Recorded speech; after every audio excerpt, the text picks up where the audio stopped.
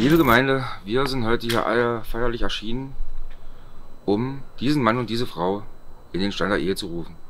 Nicht? Fangen wir jetzt an. Herzlich willkommen, hier ist wieder euer Dummy. Und jetzt zeigen wir euch den Arteon. Einen wunderschönen Hallihallo und guten Tag, ihr Lieben. Äh, ich krieg's immer nicht gerissen, so richtig hier eine Einleitung zu quatschen. Aber heute, das Thema in dem Video ist Arteon. Die meisten von euch kennen ja unseren Arteon, den wir schon seit mittlerweile fast zwei Jahren im Bestand haben. Und das Auto ist verkauft. Das Auto wird uns jetzt verlassen. Also nicht jetzt, also jetzt die Tage verlassen. Und wir wollten euch nochmal wirklich zeigen, was, wie, wo ist an dem Auto passiert und euch vielleicht noch ein paar Sachen von dem Auto erklären. Und ich würde sagen, wir gucken uns den mal an. Wir haben den schon in Position gerückt. Und natürlich im Fokus hinten. Sieht natürlich geil aus, ne? Das neue Gespann. Aber jetzt Thema Arteon. Ja, wer kennt los, war? Also Arteon, Fokus Arteon. Da steht er. Warum Arteon und weshalb Arteon? Wie ist das zustande gekommen? Das war eigentlich eine ganz, ganz coole Geschichte gewesen. Wir werden dazu auch mal noch ein paar Sachen einblenden, wie das zustande kam. Mitte 2017 kam der Arteon raus. Und ein befreundeter Autohändler von uns, beziehungsweise ein Autohaus, das Autohaus Steuer, VW-Vertragspartner, hatten das Auto stehen gehabt und hatten echt Bock gehabt, mit uns irgendwo ein cooles Konzept zu machen oder mal ein Fahrzeug fertig zu machen. Das ging so weit, dass die zu uns gesagt haben, passt auf, wir haben ja den Arteon, ihr könnt den bekommen, macht was Cooles draus, damit wir da mal zeigen können, was alles so geht. Und das ist natürlich dann auch der Arteon geworden, der hier oben steht. Wir haben das Auto äh, dann ein Jahr übers Autohaus Steuer benutzt und gezeigt und gemacht und getan. Und irgendwie ist dann der Funke übergesprungen, wo wir gesagt haben, wir wollen das Auto doch noch länger behalten. Und dann hat das Fahrzeug quasi nochmal einen zweiten Umbau bekommen wie er jetzt quasi aktuell steht. Also das ist quasi schon die, ähm, der zweite Satz Räder auf dem Auto und auch die zweite Farbe auf dem Auto. Und selbst da können wir euch dann später noch ein paar Sequenzen zeigen, wie das Auto damals da stand und wie es jetzt da stand. Aber jetzt gucken wir uns mal den Arteon an, was uns an dem Auto so fasziniert, was wir vielleicht an dem Auto nicht so cool finden und warum hat sich das Auto nicht wirklich durchgesetzt? Also was mir so aufgefallen ist, ähm, der Arteon kam raus und du siehst ihn auch aktuell, oder? Du siehst, du siehst noch rumfahren? Eigentlich fast gar nicht. Wenig, ja. Ich weiß, ich weiß nicht, warum da nicht so durchging. Entweder war es der Preis oder das Auto selber ist geil. Also ich finde den von der Form her mega und das sieht man, sieht man jetzt schon in der Sequenz, wie der jetzt da steht. Der Arteon, eine für sich, durch diesen kantigen, massiven Schnitt, der ist, der ist ja mega flach geschnitten, das Auto. Ich ja. finde den von der Linienführung, also wir müssen dazu sagen, das ist ein Airline, also kein R, ein Airline. Gibt es überhaupt schon ein R? Ich weiß gar nicht. Ich glaube, der soll erst demnächst kommen. Der soll erst kommen, wa? Also es, es gibt wirklich nur den Airline. ne? Und ähm, wenn man jetzt sieht, wie das Auto vom Schnitt her gemacht ist, finde ich den mega geil. Ich mag das bei dem Auto, diese Front. Diese wirklich flach, lang, lang runtergezogene Front. Ausstattungsmäßig mega das Auto. Volles LED-Paket drin. Also das Ding ist wirklich von, von, von der Optik einfach geil. Wir sehen ja dann, wie das Auto mal aussah. Da war das Ding hoch wie ein Försterstuhl. Und das sah natürlich kacke aus.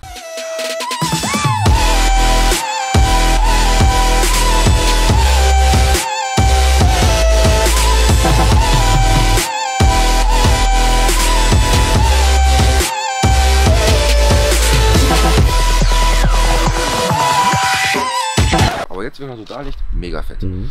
Wir gucken uns das Ding mal oben an. Hast du eigentlich für einen lustigen Stock da in deiner Hand? das ist eine gute Frage. Aber irgendwie cool, oder? Ich, ich ja. muss morgen was in der Hand haben. Machst du jetzt einen auf Harry Potter oder so? Oder? Da, da ärgert mich mein Junge immer. Der sagt immer zu mir, du siehst aus wie der Zauber von Harry Potter oder irgend so komischer. Ich, ich komme nicht drauf, aber auf jeden Fall werde ich immer hier hinsetzen. Was ist an dem Auto serienmäßig und was haben wir verändert? Beispiel wie diese Abrisskante hier, beziehungsweise der kleine Spoiler hinten drauf, das LED-Paket, das ist ja alles Serie an dem Auto. Ne? Was wir jetzt verändert haben, sind, wir haben ein kleines Spoilerpaket dran gemacht, aber äh, mit ein dezentes Ding. Also quasi der Ansatz hier ist äh, neu gekommen. Wir haben, ähm, damit die Linie auch nicht unterbrochen wird, haben wir quasi noch eine, noch eine Schwellerleiste dran gemacht unterhalb, also diese kleine schwarze Kante. Und was ich wirklich sagen muss, was viel ausmacht, ist die Lippe, oder? Das, das, das sieht halt noch mal ein bisschen sportlicher aus, das Auto. So, dann natürlich riesengroßer Kack immer. Das Auto gab es nur mit Chrompaket. Mhm. Also alle Leisten, die ihr hier seht, also ob das jetzt hier die Grillleisten sind, ob das jetzt die Leisten vom, vom, vom Türrahmen sind und so weiter. Das war damals alles in Chrom und das sah scheiße aus. Dementsprechend hat sich natürlich der David, unser Verlierer, auch gefreut, die Dinger alle schwarz zu machen. Heldenarbeit, ewig gedauert, aber das Resultat kann sich sehen lassen. Wie gesagt, was neu gekommen sind, sind dann zum Schluss die Pfossenräder, die wir Mhm. draufgesteckt haben. Auch in den Maßen, in dem Fall 9x21 ET38. Wir mussten dann vorne mit einer kleinen Platte arbeiten, damit er noch ein Stückchen weiter rauskommt. Aber ich denke mal, das Resultat kann sich sehen lassen, oder? Also, und dann hatten wir noch eine Rolle von der limitierten PWF da gehabt. Ich weiß nicht, die Farbe, die drauf ist, gab es noch 50 Rollen davon. Und dann haben wir gesagt, kommt, los, pass auf, das machen wir auf das Auto drauf. Und das ist geblieben. Und ich finde, selbst, also ich, ich weiß es nicht, also du, du kennst das Auto noch in schwarz? Ja, So grob? ja, ja. Wie hat es dir besser gefallen? So ja, muss ich sagen. So, ja? Mhm. Ingolf? Ja. Brauchst nicht wegzurennen. Wie hat dir das Auto besser gefallen? Im Sch in schwarz oder in den grün? In dem Grün. In den grün. Gerade in der Farbkombi. Also ich würde sagen, wir blenden trotzdem das schwarze Auto dann nochmal ein und dann können die Leute ja mal ihre Meinung unter die Videos schreiben, was fanden die geiler? Konzept A, das erste oder das zweite? Das würde mich mal wirklich brennend interessieren, wo der Trend und wo der Style so richtig hingeht. Mhm. Ja? So, ansonsten bei dem Auto finde ich es geil, wenn der liegt, der sieht unheimlich lang aus, ne? Die Form von dem Fahrzeug, gerade diese ganzen markanten Sicken und Kanten, was das Fahrzeug hat, finde ich wirklich sensationell bei einem Auto. Auch alleine schon diese Linienführung seitlich, ne? Du hast hier die Kante, du hast hier die Kante. Das ist alles so maschinell ist der Fall. Also, du weißt, was ich meine? Also, so dieses. Sie- Sieht aus wie so ein Stressbomber, sag ich Ja. ganz ehrlich. Ne? Werte von dem Fahrzeug. Das Auto hat eine 2 Liter Maschine drin mit 280 PS. Wollte jetzt jeder sagen, hm, okay. Ich finde, das Auto fährt wirklich geil. Es ist jetzt natürlich keine Rakete. Also ähm, die Erwartung, wenn man jetzt denkt, das Ding macht jetzt hier, also das, das Ding fährt seine 240, 50, 60, keine Ahnung. Aber das kannst du jetzt nicht mit einem Golf oder sowas vergleichen. Also ein Golf mit 280 PS oder sowas geht wesentlich besser wie der AT und ist ja auch wesentlich schwerer, das Fahrzeug. Was wir noch verbaut haben, eine Airlift 3P Steuerung. Wo wir das Fahrzeug auf Luft gebaut haben, haben wir von vornherein gesagt, Airlift 3P rein. Ist für mich das beste System, funktioniert akkurat, hast keine Probleme damit. Und da bin ich eigentlich auch voll überzeugt. Das haben wir alles in dem Sinne, weil es soll ja alles nutzbar bleiben, in Ersatzrandmulde gebaut. Das Mhm. zeige ich euch jetzt auch mal. So. So sieht der ganze Spaß jetzt aus. Die Folie gehört nicht dazu.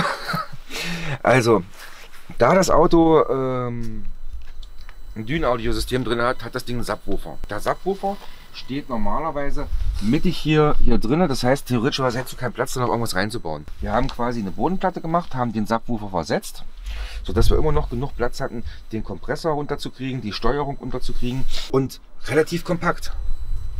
Das Geile an der ganzen Geschichte ist, es wurde alles so verbaut, dass wir das Auto anstandslos wieder rückrüsten könnten. Will der Kunde jetzt natürlich nicht. Ohne dass ja überall alles zerbohrt, kaputt oder sonstiges ist. Also eins zu eins rückrüstbar, ohne Probleme. Wir drehen mal eine Runde um den Block und gucken uns das Ding mal von innen an und erklären euch mal, was das Ding da drinnen noch alles so kann. So, ja, unser Arterion von innen. Wir haben den damals bekommen. Zu dem Zeitpunkt hatte der wirklich alles an Ausstattung, was es ins Auto reinzupacken geht. Ne? Ich habe das ewig nicht hingekriegt, mir die Memory, äh, Memory-Funktion vom Sitz einzustellen. Ich bin noch bei Autos, bin ich doch so ein kleiner Psychopath. ja?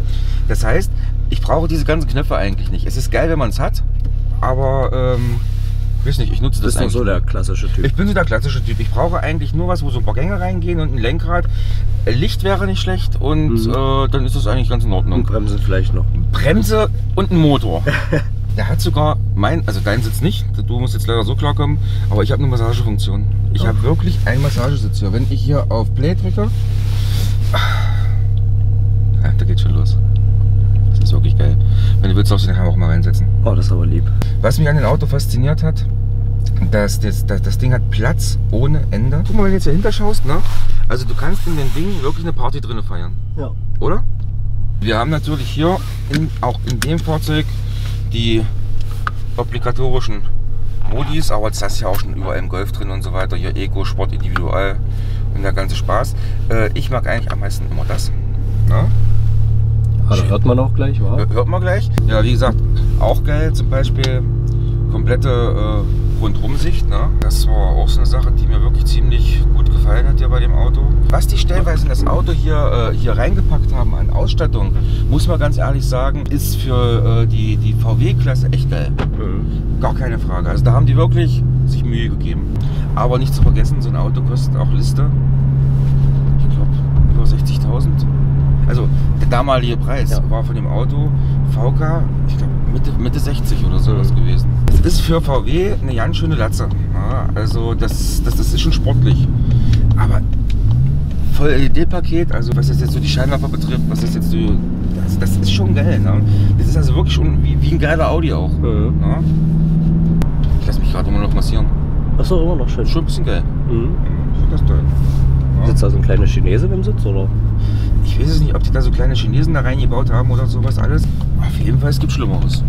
Jetzt waren wir gerade an der Tanke. Bockwurst am Morgen vertreibt Kummer und Sorgen. Das ist meine Meinung. Mhm. Oder? Hat geschmeckt. Das war gut. Mhm. Man fühlt sich gleich wesentlich besser.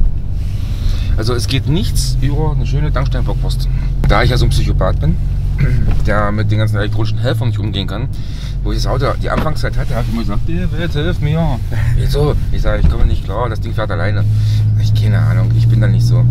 Das erste, was ich meistens jetzt immer mache, wenn ich das Auto einsteige, Reset. Vorhalteassistent Ja. und was weiß ich nicht, was das Ding alles hat. Also Reset.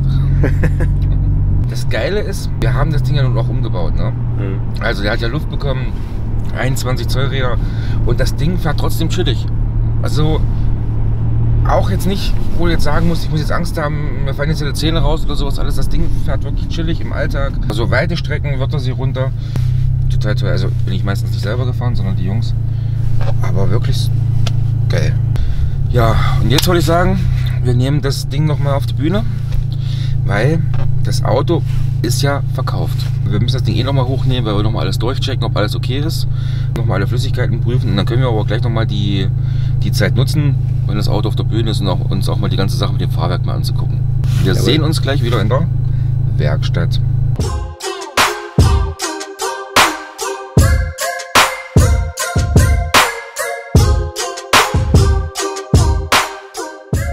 Herzlich willkommen, wir sind in der Werkstatt. So, Freunde, wie versprochen, jetzt das Auto auf der Bühne in der Werkstatt. Es hat zwar ein paar Sekunden gedauert, bis wir ihn oben hatten, aber dank Luftfahrwerk kein Problem. Da habe ich gleich mal eine Frage. Frag mal. Fährst du jetzt einfach mit dem Auto auf die Bühne und hoch damit oder musst du irgendwas am Luftfahrwerk einstellen? Ja, du kannst quasi, du, das Auto hat einen gewissen Modus. Du fährst vor die Bühne ran, da musst du dreimal klatschen Ah, und dann findet er automatisch sozusagen die Höhe, die du Mhm. brauchst. das ist ja clever. Oder? Nein, also stimmt, ist aber eine geile Frage, weil wir haben echt viele Leute, die uns fragen, wie bocke ich ein Auto mit Luft auf? Ich muss auch dazu sagen, es streiten, es, streiten sich da die Geister. Die einen sagen, ist gar kein Problem, ich kann das lassen, wie es ist. Die anderen sagen, naja, du musst das Ding komplett leer, luftleer machen. So richtig eine Faustregel kann ja keiner sagen. Ich glaube, es ist auch von Fahrzeug zu Fahrzeug unterschiedlich oder von Fahrwerk zu Fahrwerk. In dem Fall, wir machen es immer so. Du fährst jetzt an die Bühne ran, pumpst das Auto so weit hoch, wie du es brauchst, damit du deine Bühnenarme vernünftig drunter kriegst. Und wenn dann die Bühnenarme drunter sind, lege ich das Auto dann langsam ab. Ich mache es aber nie so, dass das Ding komplett auf Null liegt, sondern so, dass immer so, ich sag mal, im Bar Luft sollte schon drinnen bleiben. Weil manchmal sind ja auch die Balks, bei manchen Fahrzeugen sind ja die Balks nur oben in die, in die Teller zum Beispiel auf der Hinterachse gesteckt. Nicht, dass die irgendwie rausrutschen oder sowas. Also ich mache es wirklich immer so, ich lasse so ein Bar Luft drauf. Das heißt, die Balks sind aufgeblasen bzw. aufgeformt und dann mache ich das Ding hoch. Was ich natürlich nicht machen will, ich, ich weiß nicht, ob ich mir das einbilde oder nicht. Ähm, ich will auch nichts Falsches sagen. Ich pumpe jetzt die Kiste nicht auf 7 Bar hoch und lasse die dann hoch. Weil das kann ich mir vorstellen, ist jetzt vielleicht nicht so sinnvoll und ich habe es auch schon von manchen Leuten gehören, äh, gehört, dass denen dann auch die Luftbags weggeflogen sind. Ob das daran lag, keine Ahnung. Ähm, aber wie gesagt, so wie ich es jetzt gerade gesagt habe, machen wir schon immer und haben gar keine Probleme damit. Zu dem, zu dem Thema Fahrwerk, wie gesagt, habe ich ja gerade schon gesagt gehabt, wir hatten hier bei Umbaustufe 1, hatten wir hier ein Fahrwerk auf KW-Plattform, beziehungsweise von der Firma Nebar auf KW-Dämpfer drin gehabt.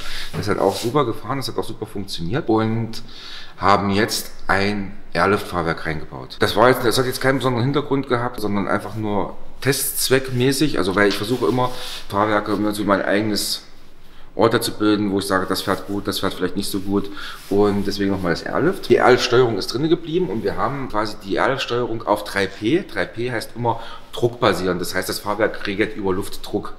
Es gibt ja noch die 3H-Steuerung mit Sensoren und sowas alles. Haben wir jetzt bei dem Fahrzeug nicht gemacht, weil wir wollten jetzt nicht noch irgendwelche separaten Bohrungen setzen. Wir wussten ja nicht, ob das Auto wieder zurückgeht oder nicht. Und jetzt gucken wir uns mal das Fahrwerk an, ihr seht ja das. Ich komm mal rum. So, hier seht ihr den Dämpfer. Und der ist jetzt auch schon eine ganze Weile drin und sieht jetzt nicht irgendwie verkorkst oder hässlich oder irgendwas aus, ne? Also kann man sich, glaube ich, noch sehen lassen, oder? Ja. So, klar, Steilflexleitung, Luftleitung geht natürlich auf den, auf den Dämpfer drauf. Da oben seht ihr eben halt diesen Doppelfaltenbalg. Das heißt, der Doppelfaltenbalg ist zweifach zusammengesetzt. Der Einfaltenbalg ist eben halt wirklich nur ein Balk durchgehend weg. Was geil ist beim, beim, beim Airlift-Fahrwerk ist, du siehst ja hier, der Dämpfer hat eine Gewindeverstellung noch separat. Siehst du das da oben? Ja, leicht sieht man's. Vielleicht sieht man ja.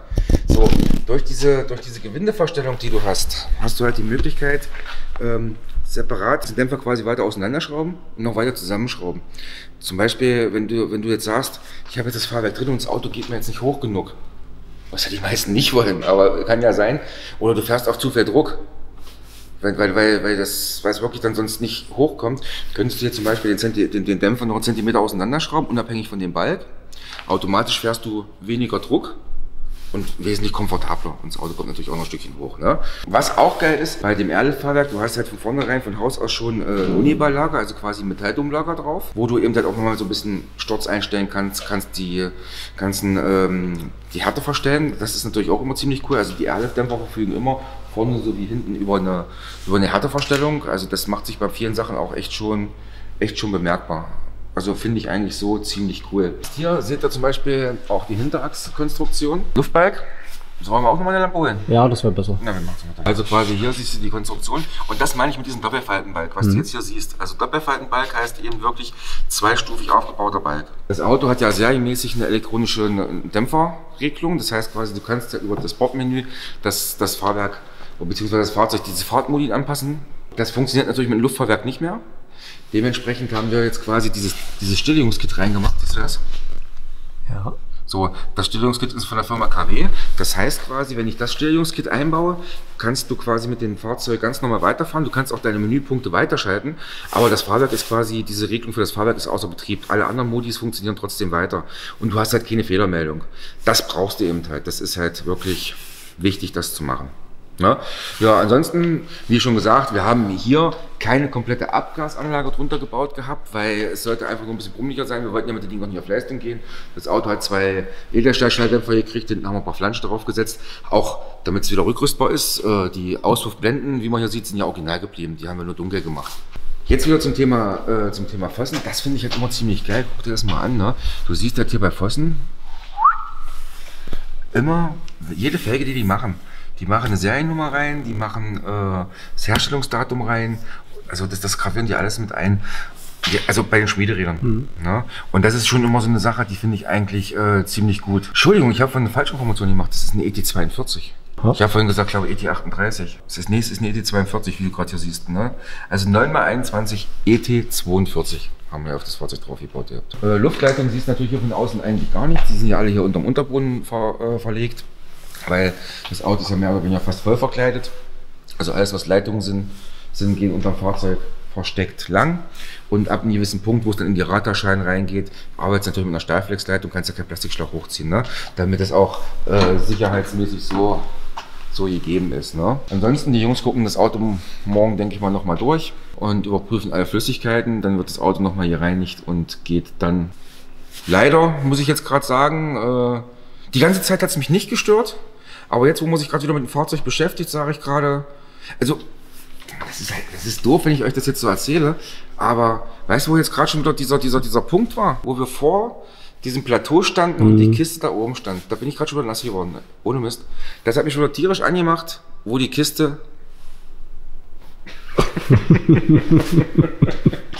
du weißt, was ich meine. Ja, jetzt nehmen wir das Ding wieder runter und dann würde ich sagen, machen wir noch einen kleinen Porn. Also nicht wir, sondern du mit dem Auto. Was heißt runternehmen? Nee, wir, machen, wir nehmen den nicht runter. Nee, doch, wir müssen ja runternehmen für den Porn. Das Ja, heißt das quasi, ja. ich habe das Auto jetzt quasi umsonst aufgebockt und mich zum Affen gemacht. Ich würde es jetzt wieder runternehmen und sich morgen einer von den Mechanikern zum Affen machen kann.